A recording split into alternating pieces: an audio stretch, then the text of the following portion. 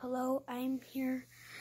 Just a little, like a short video. I don't have very much time to do this. Kind of late at night, but I just wanted to give you of a little stuff of what I've been going on with building barns lately. So these are barns that like you can build yourself.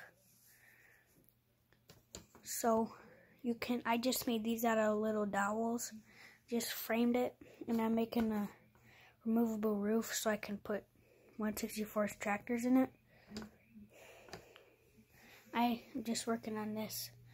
I'm cutting the popsicle sticks so it'll go kind of like uh, this. Just keep building them. Only got a few, and then I'm cutting them with wire cutters for beginners.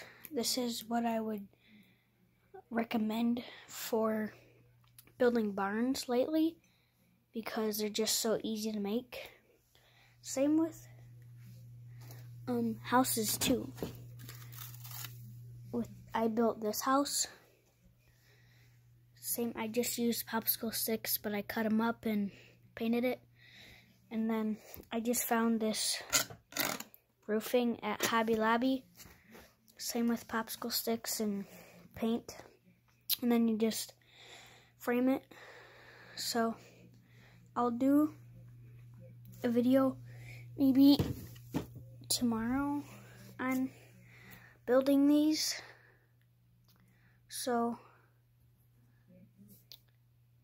yeah, well, that's it for today. Now, um, see you tomorrow.